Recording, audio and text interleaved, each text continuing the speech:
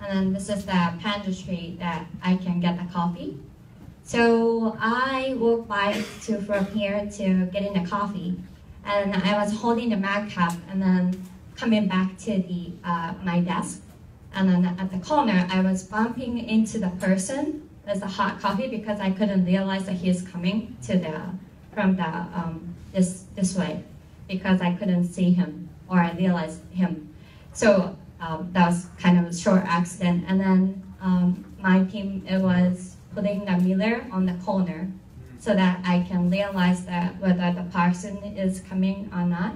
So um, our innovativeness is that to put on the um, like just cheap mirror on the corner and then prevent the um, serious accident.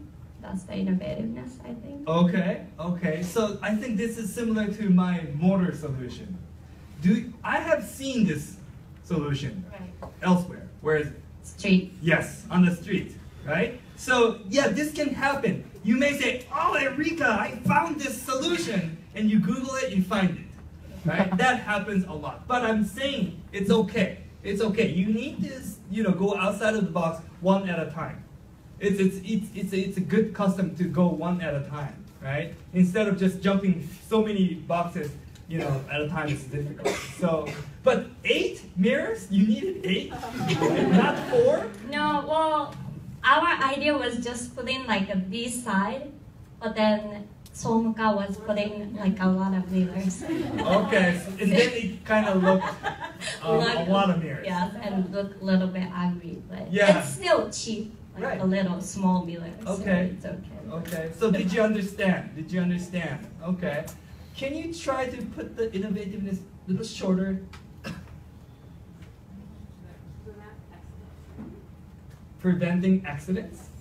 Okay. There are so many preventing accident solutions there. So prevent. Prevent the accident with cheap mirror. Oh, I hear a keyword cheap mirrors. Cheap is a change, right? It is a changing degree, right? I want to hear the innovativeness. I'll let you do the thinking. So okay, so now I'm not gonna get, I'm not gonna keep poking around, but you know that's when you need to think. Okay, oh I said cheaper. So cheaper is a degree of change, right?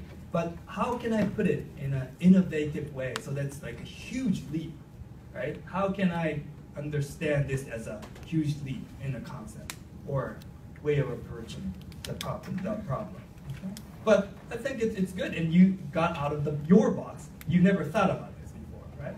And you found it. It's out there, but that's okay. That's okay. All right. Thank you very much.